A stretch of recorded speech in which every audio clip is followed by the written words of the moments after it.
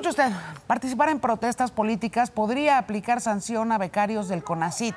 Este organismo prevé eliminar las becas a los y las mexicanas y mexicanos que participen en manifestaciones aquí o en el extranjero. En el anteproyecto del reglamento de becas enviado por el CONACIT a la Comisión de Mejora Regulatoria, también analiza la suspensión de becas a alumnas embarazadas en parto o pauperio. ¿Cómo es? Conacit, ¿qué te pasa, Conacit? ¿Qué te pasa, híjole?